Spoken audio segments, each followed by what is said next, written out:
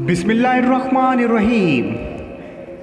शुरू करता हूँ अल्लाह के नाम से, जो बड़ा मेहरबान, नहायत रहम वाला है।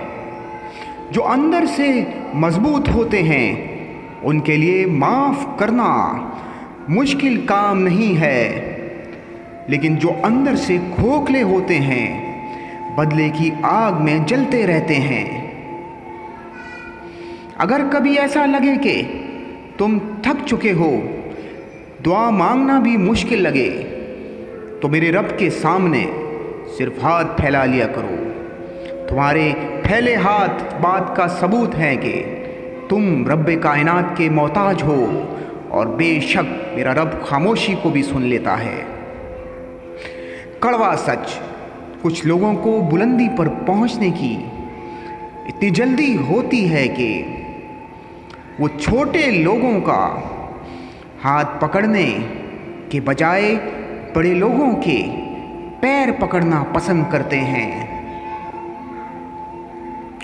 कभी कभी ज़िंदगी में रोने के लिए इतनी वजूहत होती हैं कि हम असल अंदाज़ा ही नहीं लगाते हैं कि असल वजह कौन सी है, जो हमें अंदर तक दर्द दे रही है।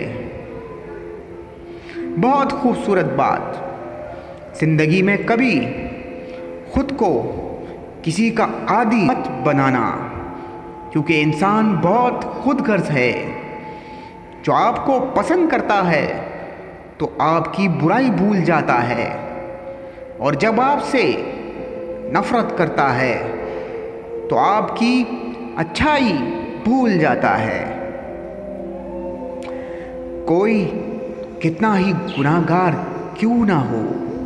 अल्लाह पाक उसके लिए दुआ का रास्ता और रिस्क का दरवाज़ा कभी बंद नहीं करता।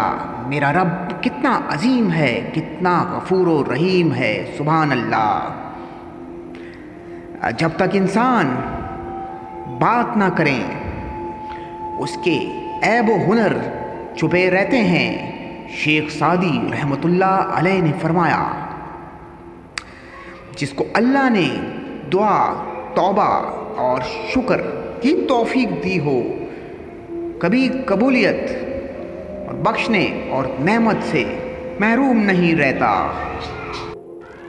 और अगर आप हमारे चैनल में नए हैं तो लाइक और सब्सक्राइब करना मत भूलिएगा। और अगर आप बेल का आइकॉन भी दबा देते हैं तो मेरी हर नई आने वाली वीडियो को आप बर रास्त देख सकते हैं। शुक्रिया।